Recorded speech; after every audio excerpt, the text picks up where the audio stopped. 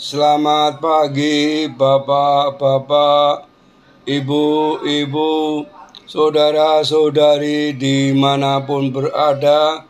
Shalom berkat dalam. Berjumpa kembali dengan Sugeng Pramono dalam renungan kisah Santo Arnoldus Johnson, pendiri kongregasi SVD Kongregasi Suster SSPS dan Kongregasi Suster SSP SAP. Arnold Johnson lahir pada tanggal 5 November 1837 di Hoch, North Rhine-Westphalia, sebuah kota kecil dekat perbatasan Jerman dan Belanda. Ia adalah anak kedua dari sepuluh bersaudara dalam sebuah keluarga Katolik yang saleh. Ayahnya bernama Gerald Johnson dan ibunya adalah Anna Katarina Johnson. Kedua orang tua ini selalu menanamkan semangat pengabdian bagi gereja pada anak-anak mereka. Pada tahun 1855, Arnoldus masuk seminari Collegium Borromeum. Arnoldus belajar dengan tekun di seminari tersebut hingga ia dapat lulus sempurna. Dia melanjutkan studi teologinya di Munster sampai akhirnya pada tanggal 15 Agustus 1861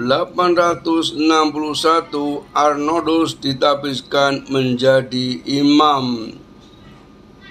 Ia mempersembahkan misa pertamanya di Munster pada 17 Agustus 1861. Selesai misa perdananya, Arnoldus memberikan berkat kepada ayahnya yang menerimanya dengan linangan air mata. Karena kesalahan hidupnya pada tahun 1867, Arnoldus diangkat menjadi direktur kerasulan doa untuk Jerman dan Austria.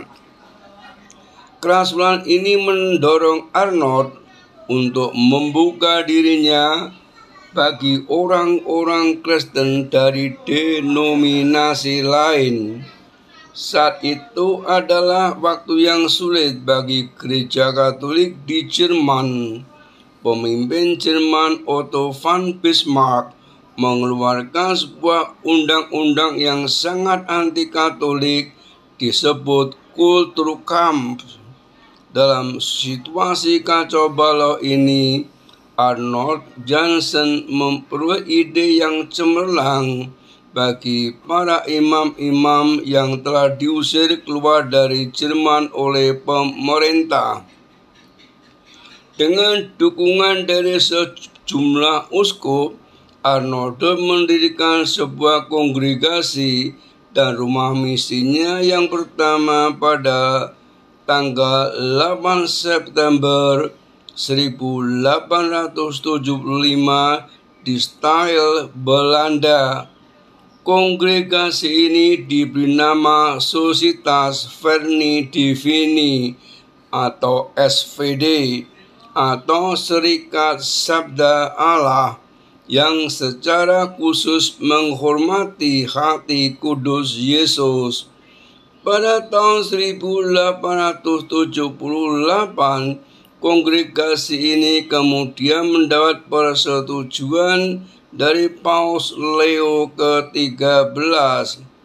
Hanya satu tahun setelah kongregasinya direstui oleh Tata Suci, Arnoldus Johnson telah mengirimkan dua misionaris pertamanya ke Cina, yaitu Johannes Baptist von Anser SVD dan Joseph Freinan-Demetz SVD.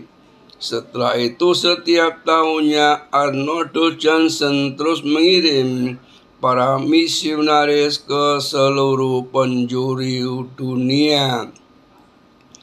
Kesuksesan para misionaris SWD ini membuat Paus Leo ke-13 memberi mereka wilayah misi yang lebih luas di wilayah Afrika dan Asia Tenggara, termasuk wilayah Indonesia yang saat itu merupakan wilayah kekuasaan Belanda. Atas saran dari Uskup Komboni pada tanggal 8 Desember 1889, Arnold Johnson mendirikan sebuah kongregasi suster-suster misionaris yang diberi nama Kongregasi Suster Misi Abdi Roh Kudus atau SSPS. Orang pertama yang menjadi suster dari kongregasi ini adalah Beata Maria Helena Stollenberg. Selanjutnya pada tahun 1896 Arnoldus memilih beberapa orang dari suster SSPS membentuk sebuah kelompok khusus para suster kontemplatif yang dikenal sebagai kongregasi suster abdi roh kudus adorasi abadi SSPSAP. Tugas mereka adalah beradorasi dengan tidak terputus pada sakramen Maha Kudus, berdoa sepanjang hari, siang, dan malam. Bagi gereja dan terutama bagi misionaris SPD dan karya mereka di seluruh dunia. Santo Arnold Johnson tutup usia pada tanggal 15 Januari 1909 dalam usia 77 tahun.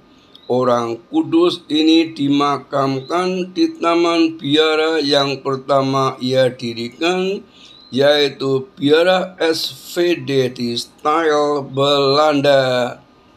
Saat ini terdapat lebih dari 6.000 imam dan bruder misionaris Serikat Sabti Allah yang berkaya di 63 negara lebih dari 3.800 anggota Mister Misi Suster Abdi Roh Kudus dan lebih dari 400 Suster Abdi Roh Kudus Adorasi Abadi. Venerasi 10 Mei 1973 oleh Paus Paulus ke-6 Beatifikasi 19 Oktober 1975 oleh Paus Paulus ke-6 pada tanggal 5 Oktober 2003, Arnold Johnson SPD dan sahabatnya Joseph Ferdinand SPD dikanonisasi oleh Santo Paus Yohanes kedua perayaan 15 Januari. Salam kasih Tuhan beserta kita. Amin